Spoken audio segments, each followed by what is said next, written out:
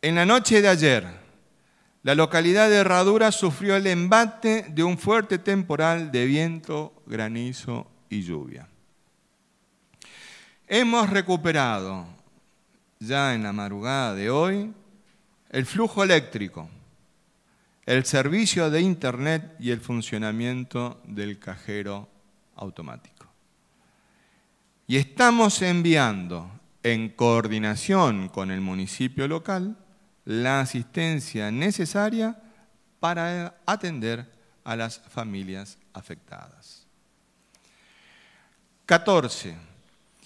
Atento al decreto de necesidad y urgencia número 408-20 del Poder Ejecutivo Nacional, mediante el cual se prorroga el aislamiento social preventivo y obligatorio hasta el 10 de mayo, se aclara que la provincia de Formosa adhiere a esta medida sanitaria nacional.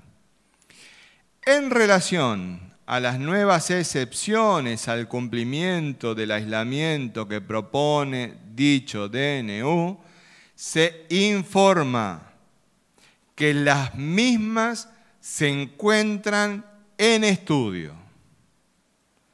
No bajemos los brazos, más unidos que nunca, más firmes que nunca, en Formosa no se rinde nadie.